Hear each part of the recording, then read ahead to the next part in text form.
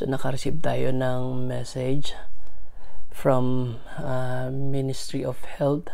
So I hope uh, ito na yung result and um, I hope na maganda yung result. So let's find out.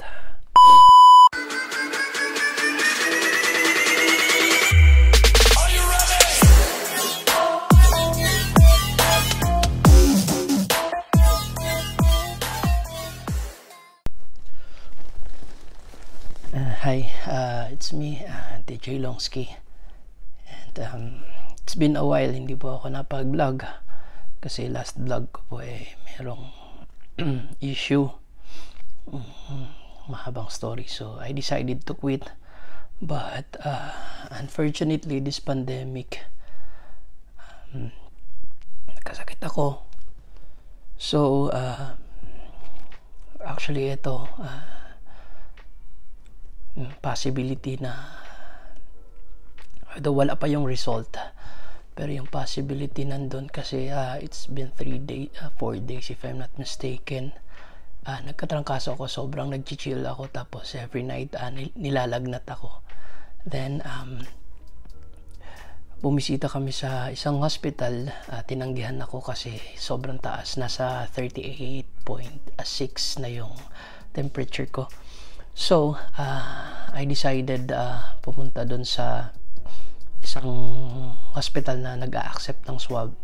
Uh, I've been there uh, November 1 nagpa-swab ako since meron kasi kaming uh, may kasamaan ako na apat na nag-positive.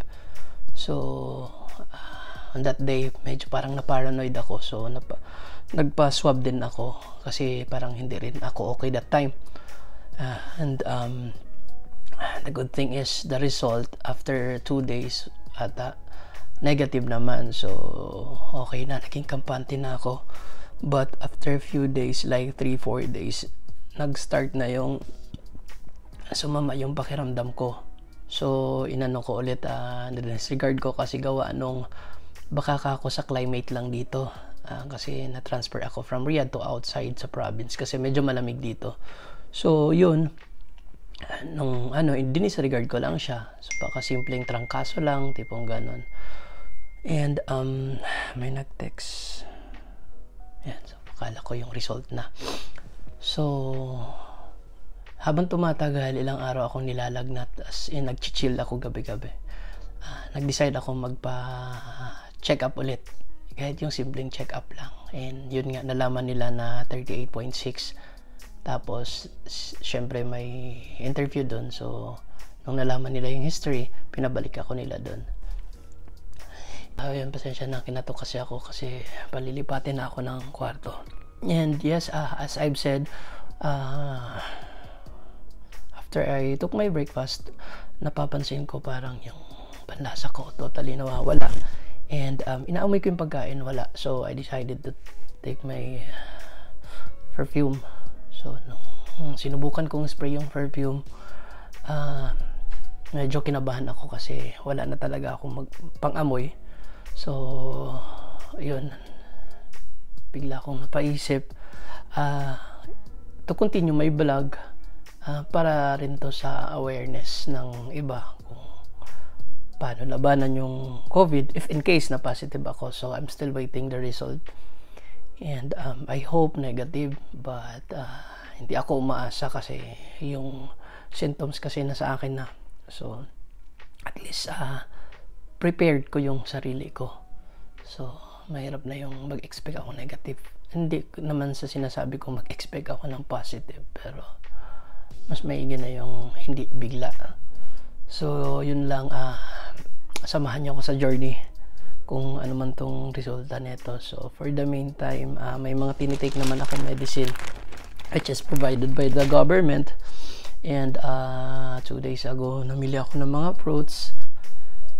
And uh, living so sobrang sakit. So siguro ang sa akin lang uh, dun sa mga hindi naka-experience kung makakaramdam ka ng trangkaso whatever it is kung gaano kasakit yung katawan mo ang gagawin mo lang is labanan mo tumayo ginakailangan. Alam ko masakit, sobrang sakit as in parang pinipiga ka pero wala tayong magagawa. Especially like me, OFW, wala naman, wala naman mag-aalaga sa atin dito. Ito ang pinaka mahirap sa isang OFW.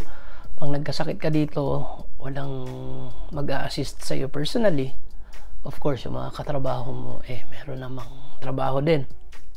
So, ikaw at ang sarili mo lang And um, yes, I've said, uh, labanan mo lang. Masakit ang katawan mo tayo, uh, exercise, and uh, I do suob din, like steam. So, nagsuob ako for 4 days na ata ngayon. So, every morning. And actually, hindi pa ako naliligo. So, subukan ko maligo ngayon. Pwede naman siguro. And uh, gusto ko ang gawing twice a day yung suob lagyan nilagyan ko siya ng uh, as per advice ng mga may naka-experience din. So nilalagyan ng asin. And uh, ini-steam mo lang siya. Tapos nagbabalot ng kumot. And ang drinks ko ginawa kong ano obos na. Ang ginawa kong drinks uh, lemon. Lemon na may luya. So which is more effective daw. And hindi naman siguro masama. Susundin and yun lang sana samahan niyo ako sa journey ko na to. God bless everyone. Bye-bye. And uh, by the way guys, eh, since kapapatay ko lang ng video ko which is maliligo sana ako. And uh, as in ngayon lang, so naka-receive tayo ng message from uh, Ministry of Health. So I hope uh, ito na yung result and um, I hope na maganda yung result. So let's find out.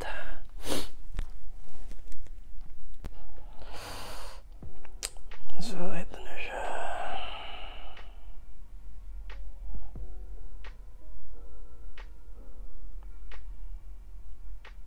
So medyo hindi ko pa siya na ano hindi ko pa siya naintindihan pero ipapa-translate natin no.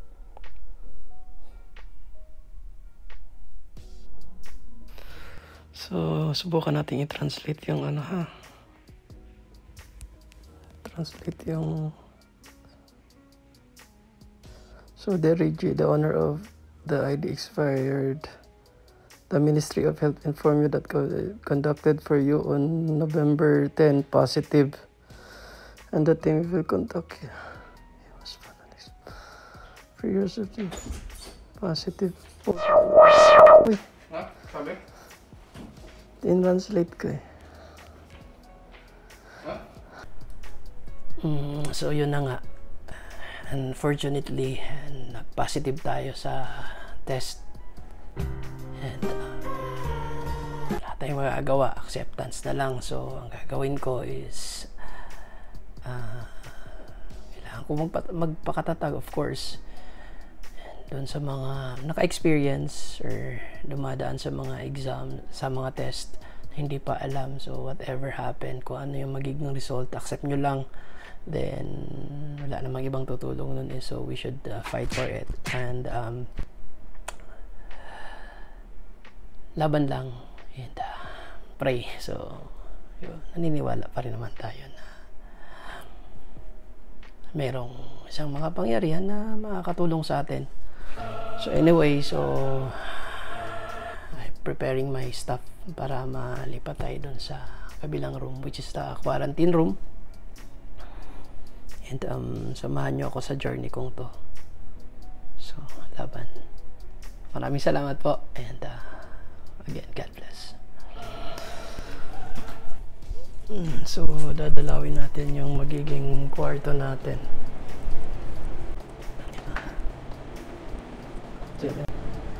So, yan yung magiging kwarto ko. Room number 2. Please be good to me. Room number 1, quarantine. So, let's find out. Wow. so, ito siya. Dito tayo mag-permis for siguro a few days. And uh, balikan lang natin yung aking mga gamit. So, prepare natin yung mga gamit natin fruits. Hindi natin pwedeng kalimutan yung ating fruits. Nilagyan ako ng soup. Sa noodles.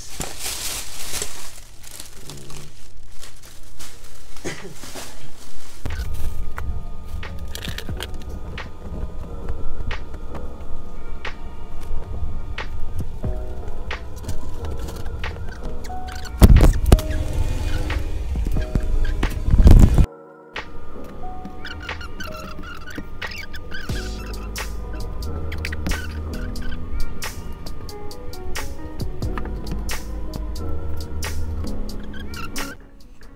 Natin to. So, through this, kaya ako nalaman kanina na iba na talaga. So, that's why hindi na ako umasa magne-negative ako kasi hindi ko na talaga siya naamoy. So, tari natin to mahiwagang pabango to monitor since wala rin kasi wala rin akong thermometer. So, lang. So, let's go. Uh, think I need a new blanket.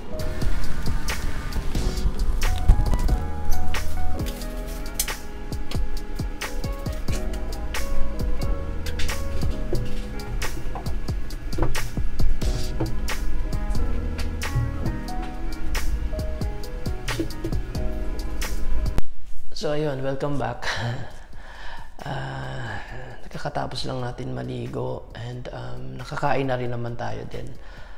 And the good thing is my company provide everything, especially yung meal so hindi naman sila nagkulang. Then every now and then yung manager ko tumatawag sa akin. Minomonitor naman kami so far. and um, share ko lang din yung nararamdaman ko ngayon aside sa wala akong panlasa tsaka walang pang-amoy, totally wala. Ah yung back pain, body pain ko pa medyo nawawala, naiibsan siya. It's because maybe nag-take ako ng medicine and yung throat ko na lang masakit, parang magasgas. Even though hindi naman ako laging alam mo yun, pinupersa yung pag-ubo, bihira lang, pero masakit pa rin siya kahit paglunok ng laway. So, every now and then, umiinom ako ng tubig na may lemon. And then, hinaluan ko ng luya. And, um, yun, pagka umubo ka, yung tipo yung likod mo, parang may sumisipa, tapos sasabay siya dito. Hanggang sa yung ulo mo parang sumasabog. Kaya nga, hanggat maaari, ayokong umubo, pero minsan uh, hindi mo napipigilan. And uh, I think uh, that's all for today. And uh, I'll keep update everyone para lang aware din kayo kung ano yung... Siguro baka iba-iba yung sintomas pero may mga common naman siguro nararamdaman yung mga positive person. I-update ko kayo sa aking vlog para ma-share ko na rin sa inyo. So, kaya kayo, ayan, ingat palagi. Uh, huwag niyong pabayaan yung mga sarili niyo. As much as possible, kung kaya niyo magstay at home, stay at home. Kasi ang COVID, wala pang, wala pang gamot. So yun lang, uh, God bless us all. Keep safe everyone. Bye-bye.